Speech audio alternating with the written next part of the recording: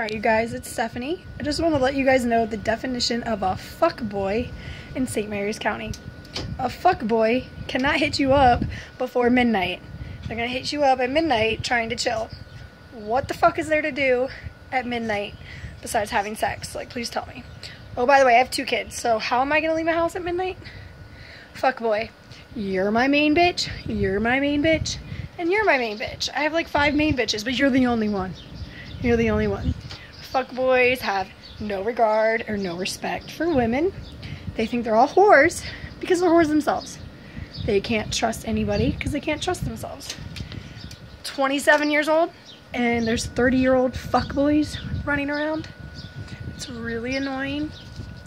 Fuck boys get jealous if you look at a guy. They have a lot of shit to say if you look at a guy or if a guy hits up your phone they're gonna act like they're jealous and they're gonna tell you oh well see you're talking to guys so that's my pass to go fuck this other girl.